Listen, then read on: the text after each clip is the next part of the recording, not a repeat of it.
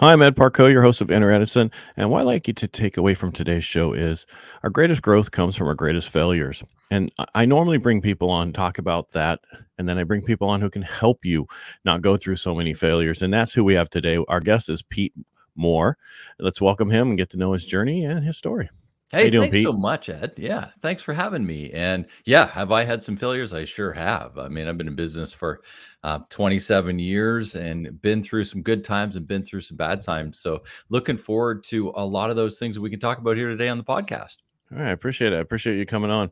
So, my listeners aren't going to know who Pete Mohr is, right? Uh, unless they Google you and then they could find you.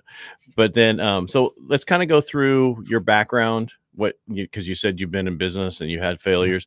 Let's talk about a little bit about that, and then then we'll talk about how you help entrepreneurs now so they don't have as many failures. Yeah, cool, cool. That's awesome. Um, so as I mentioned, you know, I've been I've been going since 1994. I mean, I had small businesses through university and stuff like that, sort of summer businesses and what have you. But you know, coming out of university, I worked for my dad's best friend for about six months.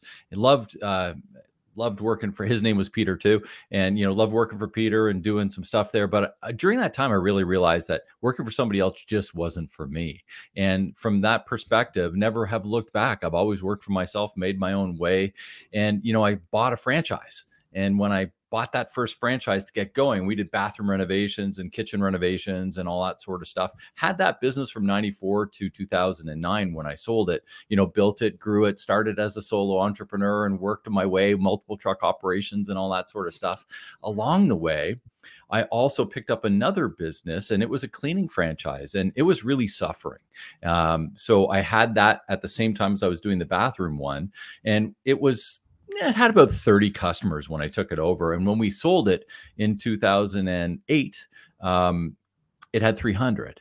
So we 10 times that business along the way too. But I've always pretty much had two or three businesses on the go at the same time. And, you know, part of what I work with with my customers with simplifying entrepreneurship is how to turnkey your business and how to have that happen so that you can have those businesses and systems running and really be the leader along the way. But have we had some failures sure we've had some failures like when i sold that last business that that the sani service business um, you know the person that bought that business from didn't pay me the full amount you know oh they, really yeah we set up the structure and i was a business broker at the time helping people buy and sell businesses and we set up the structure so that i got paid you know 80% of the business in advance and then there was a 20% sort of holdback well at the end of the day, I never ended up getting that 20% holdback.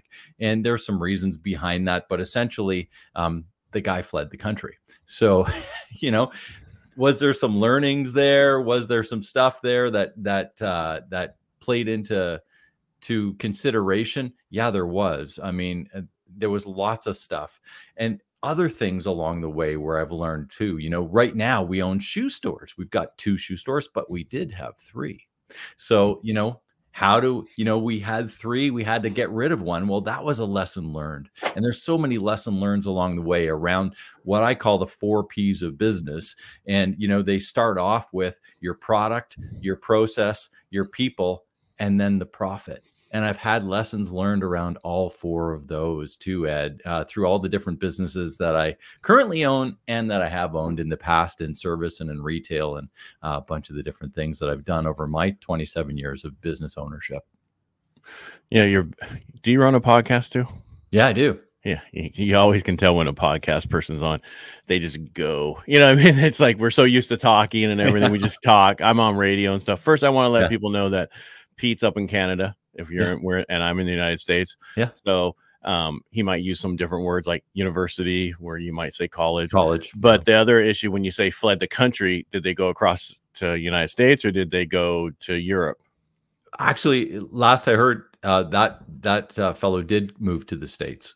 Um, because you know, fled the country to us would be he'd go to Canada or Mexico. Yeah, right, right. Uh, you know, but ultimately, you know, it was just a it was just a uh, system where we didn't have the deal structure worked out the right. way it needed to be, and it was a learning experience. You know, I lost um, a good chunk of cash there, and from that perspective, you know, we had it set up that I could take the business back, but I was living six hours away, and to take the business back over and all that other stuff. I mean, some learnings there along the way right. for sure.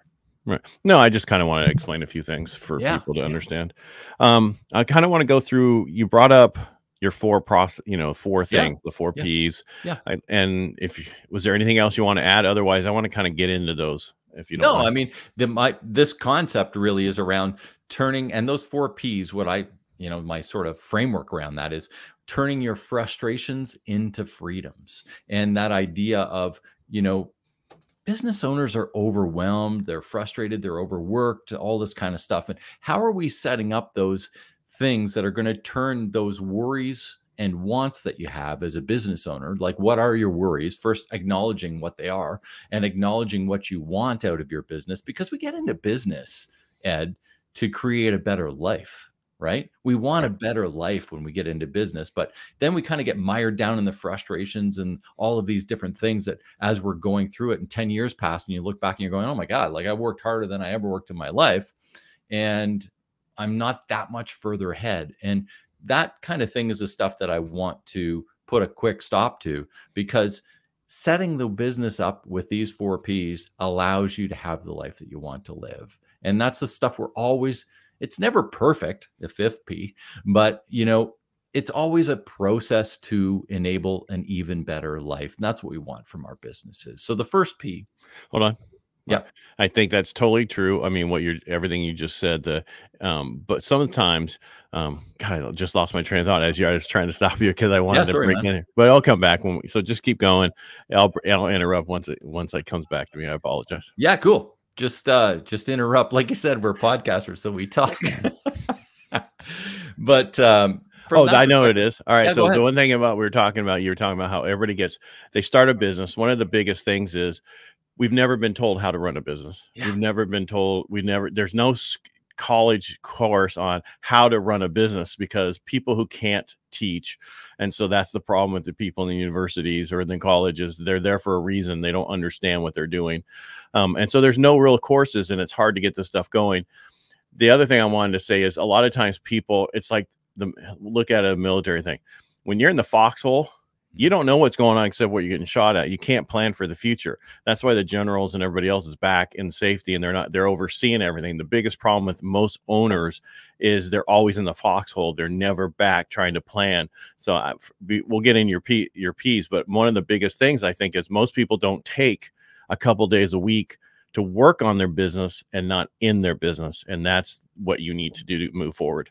I knew Uh, it'd come back to me eventually. I couldn't agree more. We could talk uh, the whole podcast just on that alone. Right. You know, uh, the idea of working on your business and not in your business, and that's that's that concept that I talked a little bit about before. About when you have a turnkey operation, it allows you the opportunity and the time to start looking at your business, working on your business, not working in your business managing. It takes it takes you out of that sort of that managerial platform and pulls you up into what I call the leadership platform. And when you're in that leadership program, then it allows you to gain the confidence and momentum to move your business to the next level and break through some ceilings, you know, which is what we all want. And we can talk about this part of it a little bit later. I still want to get into your piece. Yeah, it just cool. popped in my head. And I just thought I'd like to share it. So, No, man, that's great. I, I all right. So, what's the first P? The first P is nailing your product. So not everybody sells a product. I mean, I'm in, I own some shoe store, so we sell shoes, you know. Uh, but from that perspective, it's a product. But you could use your service or your program or whatever the case is. It just doesn't those service doesn't, doesn't make with a P. S Yeah. to So uh, product so- or service.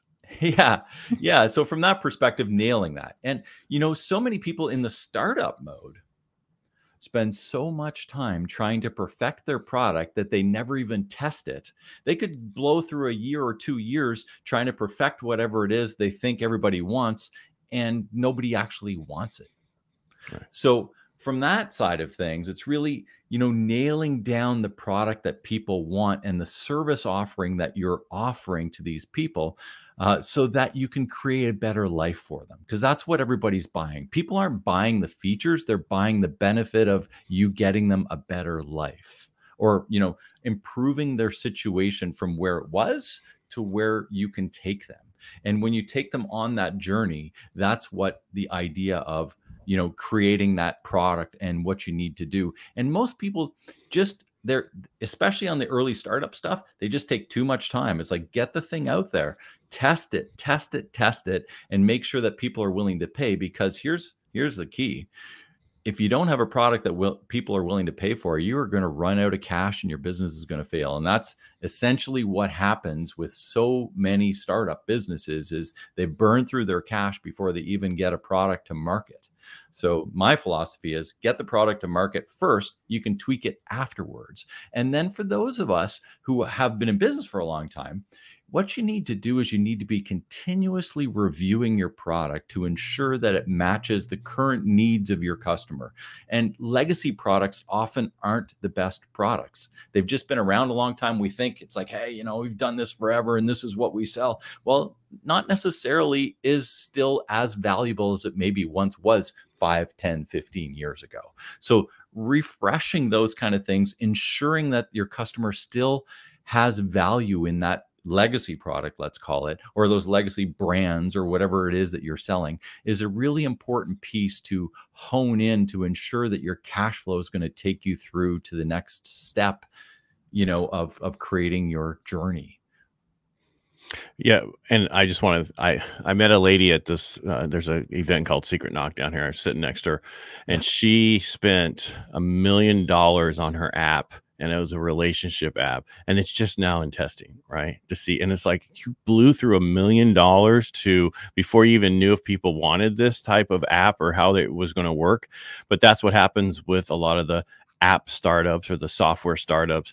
They get a lot of cash and burn through it and a lot of times you have to burn through it in order to get more cash but that's not who we're talking to today but it's just make sure that your benefit the benefits that you're trying to get through and this is a part of sales you know features versus benefits that people want this in the first place just like you said you know somebody might not want you know so, uh, shoes that have where you can put your feet, your toes into for very long because they say that they do this and it yeah. really didn't do that right it's a, it's interesting thing, you know, and I just the reason I bring it up is because it really seems to be. I mean, it seems basic, but a lot of people just don't put their put it out there to the public. And so many times there's so much time wasted so much money wasted so much commitment so much energy. I mean it's just like an incredible amount of wastage instead of just getting it out there and tweaking it afterwards. Yeah I, and i think a lot of people don't even know we talk about we're talking about just your four p's right now and yeah. the product and how business. Not only they don't know how to do business they don't understand the sales process, the marketing process, everything that's branding, all that kind of stuff that's important.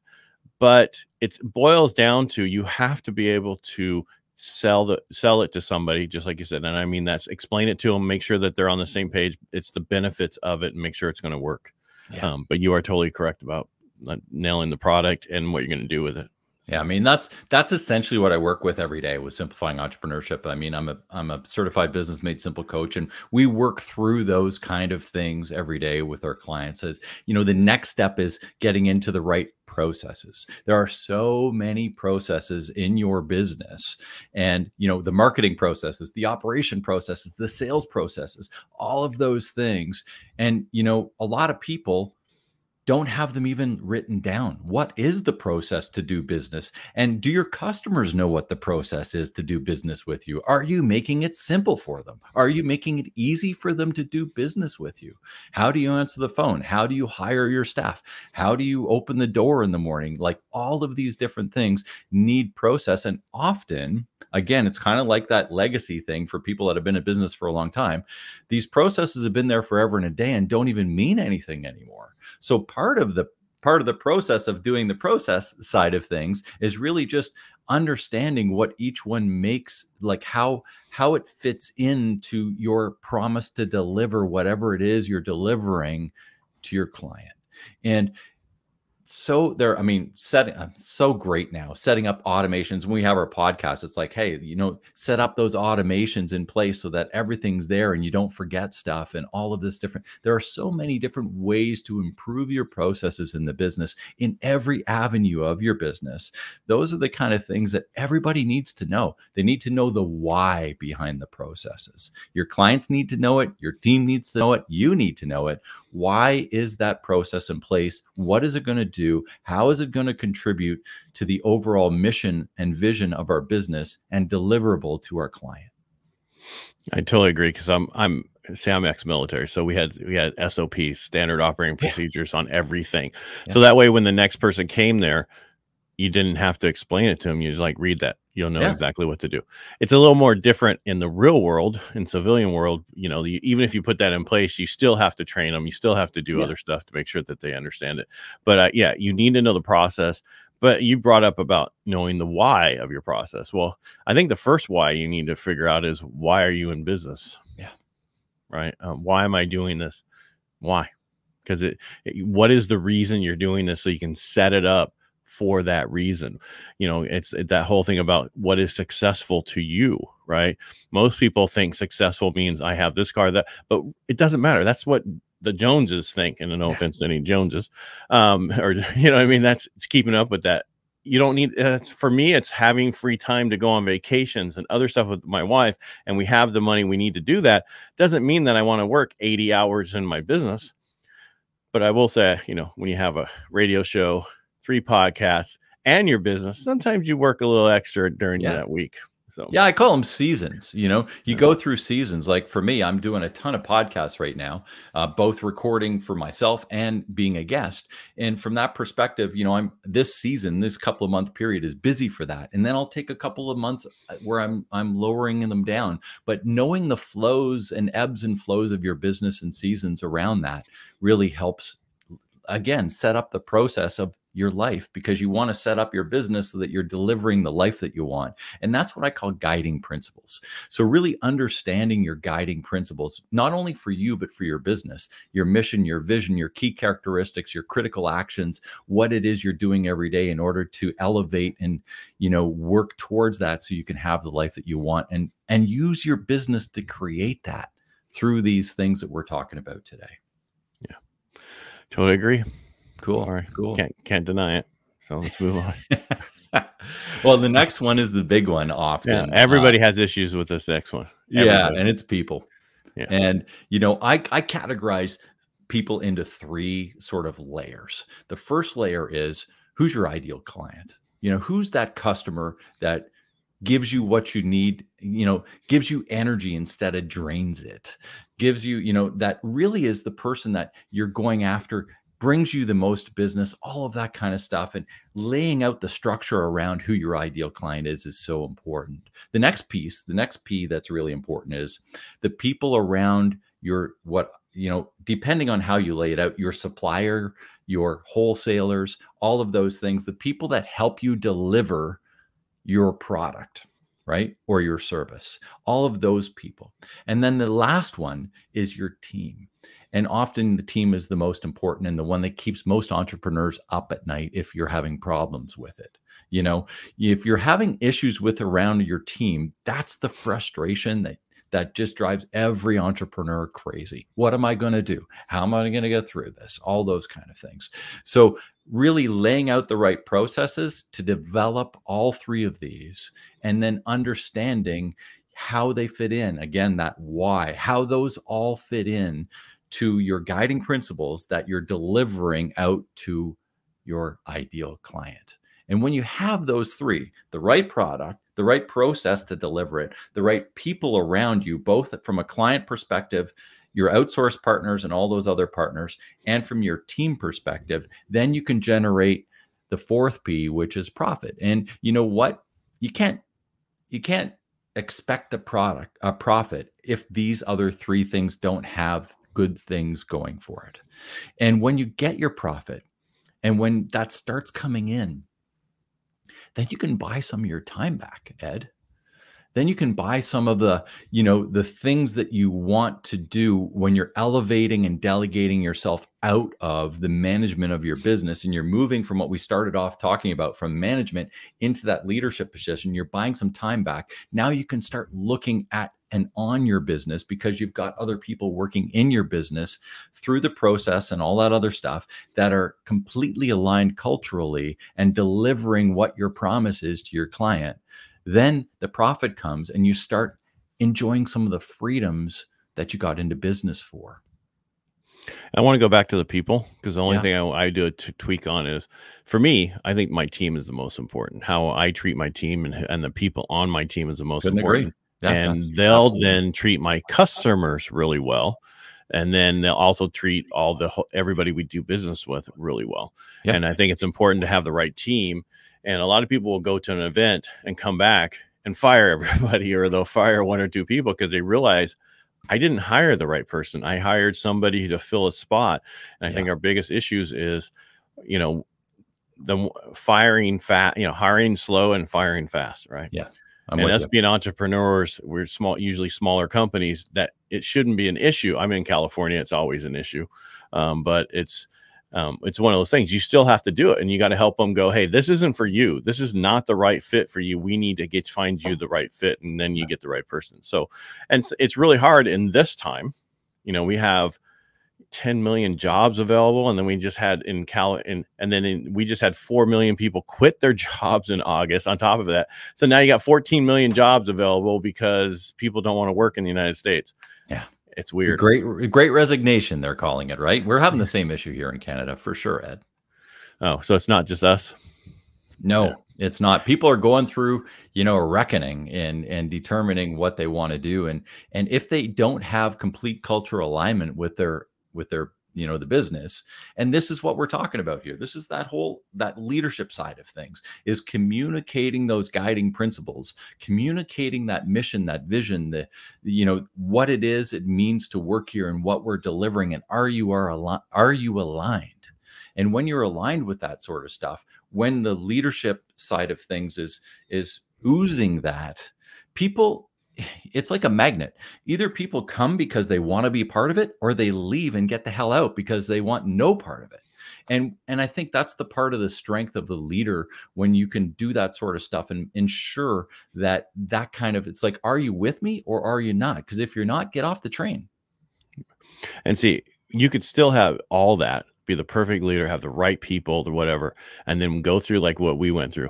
So during covid we um we did the most loans in like 10 years right what we normally would do during t- a 10 year process we did in a year i lost really good processors who said i don't want to be in this business anymore this is too stressful i'm quitting and i'm going to go work one of them said i'm going to go work with kids i'm thinking god this must be really bad if you want to go work with kids i mean don't get me wrong that takes a No, special no. calling but i'm just like I got three kids i I had five. Yeah. They're out of the house. So Yes, I went through that for, you know, 26, 30 years, whatever it is. I've Yeah. raised them. And Yeah. I'm like going, I could not imagine raising other people's kids that call it, you know, in high school and grade school, any of that kind of stuff. So I'm just saying there's a lot of stuff that you don't have control over that you have to be okay with. Um, like our biggest issue right now is our government. We have no idea how they're going to, they come up with these new things constantly and then it's messing with everybody's businesses. It's messing with that you have no control over that you just have to focus on what you have control over and and just focus on that and, and keep going and you will be successful. Or do like pete do just have like three or four different businesses going at the same time and then one of them definitely will be successful well, i'm not saying they're not all but i'm Yeah. saying yeah you have a better I mean, it, it- there's there's something to be said for sort of splitting uh, the risk around different businesses so that you do have backup plans. I mean, that's one of the reasons why I do what I do and have a couple of different ones. It's like, hey, listen, you know what? Um, like any good investment, businesses are investments, Ed, right? And you know, people don't always invest in one stock or put all their money in one holding. And so, from my perspective, that's one of the you know, I look at my businesses as investments. And uh, that's one of the reasons why I have multiple because I like to split that risk. yeah, diversify Yeah. yeah Yeah. yeah because that's what you need to do when you're investing and so i'm told this is not an investing show so it's not no. all right so all right so we went through the process anything Yeah. else you want to add on that because i'd like to go back to what we we were talking about earlier in the beginning about working on your business and not Yeah. in your No. business you want to talk Well, I'm good. that I for a mean, little that, bit that, that whole idea is that you need to firm those things up and always be, it's never perfect, but you're always trying to perfect. And I think that's the thing is, is never ending improvement along the lines of those things we were just talking about. And always as i found doing this for the last year um, you need to have a, a mentor you need to have a coach you need to have a quarterman whatever you want to call them you need to have them there to help you because you need someone to over help you grow where and help you through the process and understand and be in some type of strategic you know group different types of groups that have yep. to deal with your, maybe your industry and people that have nothing to do with your industry so you can take some information from other industries. But you need that to help you grow and help you grow your business but anyway know, it's good Go ahead. I always find it interesting uh, around the coaching side of things that you know people um, they'll get a coach for their weight you know, I want to lose some weight. So I'm going to hire a weight loss coach. Or they get a coach for pump and iron at the gym. They get a coach for whatever, batting practice. But the thing that brings in most of their business, you know, most of their money and their income for their life, they don't have a coach for their business. It's an interesting thing to me. Uh, but just when we were talking about that, it just kind of clicked, clicked uh, that little trigger for me to think, you know, hey, we're, we hire coaches for all sorts of different things around our lives. Yet the one thing that brings our income, a lot of times people don't have coaches there. I have a coach. So, yeah, me too. Yeah. Um, I used to have a coach. So I learned a long time ago to get people outside of my industry, right? And because I I've had coaches in my industry, and they're all about, okay, what numbers have you done? Have you did this, this, this? I don't need you to ask me that question. I need you to help me grow in other areas, not necessarily how many vol. What's your volume this month? What's this? That's easy. Those are you know, the yeah. more I call people, the more I talk to people, the more I get more transactions in here, you know. Yep. And you brought up about the um, the processes like answering the phone, right? I get so much business because we answer the phone. Amazing thing, isn't it? They're like, we called seven other people and they didn't answer the phone. It's like, really? How hard is it to answer a phone? I know it's crazy. And that's the other thing is I one of the processes for my staff is they'll send an email like we sent emails, they haven't. I'm like, don't okay, you send the email, if you don't hear anything within 30 minutes, you call them. And then, you know, and then if it's one of our clients, if they're in the certain areas, text them. They don't have good cell coverage. They don't actually add, look at their email every 20 minutes like you do. Right. they don't even look at it. For me, I don't even look at my email. Yeah. I wait for my staff to go, Hey, did you see that email? What email? Don't blah, blah, blah. No. And then they explain it to me. If it's important, they'll bring it to me. Right. Exactly. And that's what some people say about news. They don't watch the news. If it's so important, somebody will tell them Yep. So, all right. So let's talk quickly. So we actually kind of were talking about how to work on your business and yeah. not in your business by having a coach so they can help you. But I found by having usually two days a week, I actually work on my processes and different things of my business. And then I, you know, with the podcast and everything else, it's basically I'm working on it all the time, right? Because yeah. I interview so many people. And then out of that, I take them or what they're offering and I implement it in my business, and it makes a big difference, or in, or in yeah. my life. So. Yeah, I love podcasting for that. We get to talk to some really cool people, don't we? Yeah, it opens up doors we wouldn't normally be able to get into. Yeah, yeah, and for me, um, I use the early morning, so I'm an early bird. I get up usually between 4:30 and 5, and uh, I work through those few couple of hours through my morning routine to work on my business and on my life and all of that sort of the stuff that I want to do for my improvement. And that way, it allows me, you know, by the time everybody's up at eight or nine, uh, then it, then I'm I'm I'm in the middle of my day rolling. So you know, it allows me that time to work every day, uh, really a little bit, and work through some of that stuff. So whatever the structure is, it doesn't really matter. I think the big piece, whether you're outlining and saying, "Hey, Tuesdays and Fridays are my day to work on my business," or whether you're saying, "I'm going to do it mm-hmm. every day," spreading it out. The big thing is about carving the time that you can whatever time you can carve and start small like if you can carve half an hour carve a half an hour every friday afternoon i mean you have to start somewhere and i think that's the thing people think it's just like a it's too big it's i'm gonna and they just procrastinate starting to do this sort of stuff but sit down you know i use uh, a journal and it's like sit down with your journal and start mapping some of this stuff out so that you can then you know get into that habit the things start small and then grow and as you're growing that sort of stuff and as you're building through working on your business start scribing it down writing it down map out that stuff and i like to use i've created a my, a one page planner for a lot of my clients. And I use it, of course, myself, but around the idea of, you know, what you want for health, what you want for wealth, what you want for relationships, what you want for growth and mission and purpose. And for some people, spirituality is part of that that journey, you know. But when you think of all that, you can do that for your life and you can do that for your business too. And start mapping that stuff out. And then it's going to become more clear. It's a clarity tool to allow you to start developing, you know, the products, the process, the people, and the profit to get you there. Mm, totally agree. Too bad. I agree to everything today. I prefer them when I'm arguing with people, and I'm just kidding. I'm good with an argument too, man. Hit me. I don't have any today. Sorry. Yeah, well, actually, I you're just, a lot bigger than me. I don't want you to hit me. And that's what I do at four o'clock in the morning. Is I work out. So, cool. Yeah. Yeah.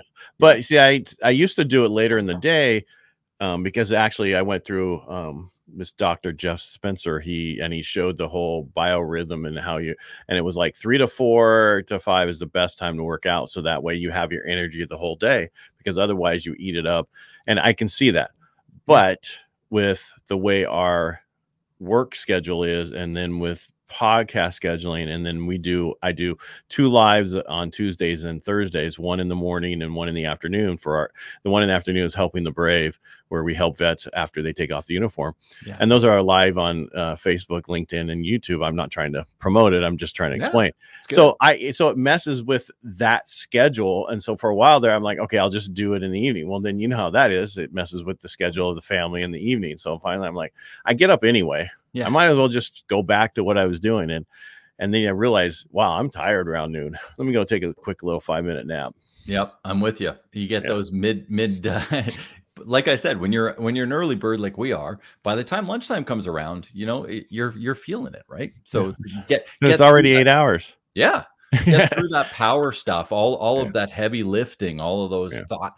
I I like to say I do all my thought work in the morning, and I do all the other stuff in the afternoon. Yeah, there was actually a company in our industry that came up with a thing that's called um, it's about winning before noon, right? And and so if you do all your work before noon, then you have the whole afternoon to do whatever you want, and that and that's key. I mean, because you then you it opens up for a lot of stuff, and I mean, do everything in the morning, get it done out of the way, because otherwise you'll procrastinate on and not do it at all for sure. They, they, it becomes big then, right? And anytime right. anything gets too big, you procrastinate it. So yeah, I couldn't agree more. Yeah, I mean, because the amount of videos and the amount of stuff they want me to produce and everything, it just gets overwhelming. But if you sit down, that's why I'm wearing black shirts now. I found that I can do many videos at the same time versus constantly changing shirts constantly. I right? get it. Yeah. So I learned that from Steve D. Sims to wear black shirts because they never know what shirt. And I just swap multiple hats. There so, you go. Yeah. Yeah. No, I gotta maybe I'll take you up on that one.